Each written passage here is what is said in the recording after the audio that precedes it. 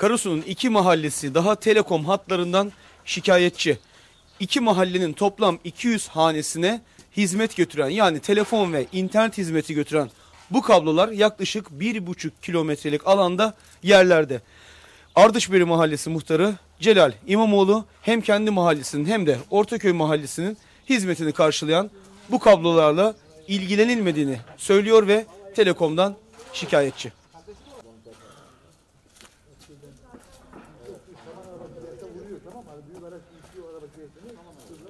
Türk Telekom kablolarımızın tamamı yerde.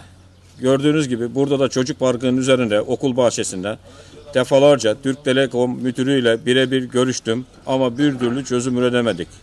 Dilekçeler verdim ama hiçbir çözüm üretmedi, üretemedik. En son Kaymakam Bey'e, Karasu Kaymakam Bey'e dilekçelerimizi verdik. Kendisinin de birebir görüşeceğine, işte bu işi çözebileceğini bize söyledi.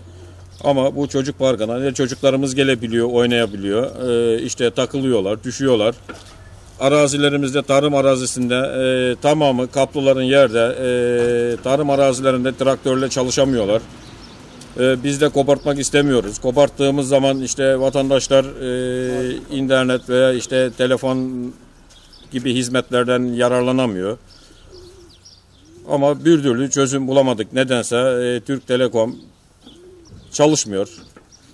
Bazı mahallelerimiz, bazı sokaklarımıza da işte internet almak isteyenler var. Ama Türk Telekom ben hizmet veremeyeceğime, işte beni kurtaramayacağını da söylüyor. Öğrenciler var. İnternet üzerinden ders yapıyorlar ama e, internet olmadığından yapamıyorlar. Biz bunu bir türlü Türk Telekom Müdürlüğü'ne anlatamadık. Yapmıyorlar, çalışmıyorlar.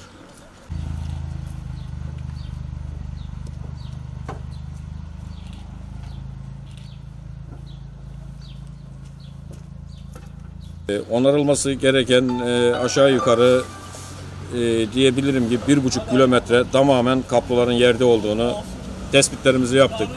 Fotoğraflarınızı fotoğraflarını çektik. Türk Telekom Müdürlüğü'ne attık. Ama e, halen daha ilgilenmiyorlar. Yaklaşık 5 yıldır da uğraşıyorum. Gerekçe olarak şu anda hiçbir hizmet yapamayacaklarını, öyle bir çalışmaların olmadığını, geliyorlar gidiyorlar işte bakıyorlar ee, işte biz şu anda bu kadar direkt dikemeyeceklerini söylüyorlar. Yani çözemedik, uğraşıyoruz. Ama uğraşlarımızın hepsi boşa gidiyor.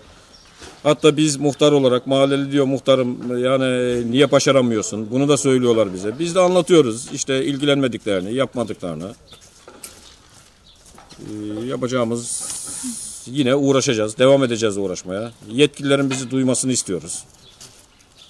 Ee, şu anda benim mahallem e, 70 hane ama e, benden ileriye de aşağı yukarı 100 130 haneli bir köy var, orta köy var. Benim buradan gidiyor oraya da. Onlar da mağdur oluyor biz burada e, kaplolar koptuğu zaman. Onlar da internetten faydalanamıyorlar. Ortak sıkıntımız aynı.